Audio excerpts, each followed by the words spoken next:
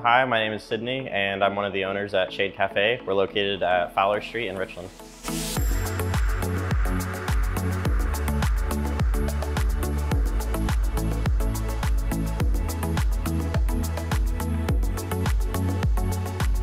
We just wanted to bring a little like mixed soda shop to town and then also just some unique food. So one of the fan favorites for the mixed sodas is going to be the Caribbean Vacation. It's a mango peach coconut with Sprite. And then uh, the fan favorite Red Bull is probably gonna be our Rosebud. It's a blended Red Bull with huckleberry and vanilla mixed into there, topped off with some rose petals. And then we have a really good blend of coffee here. We have a medium dark roast and then a medium roast as well. One thing that a lot of customers love to come in here and do is just take photos with our umbrella room.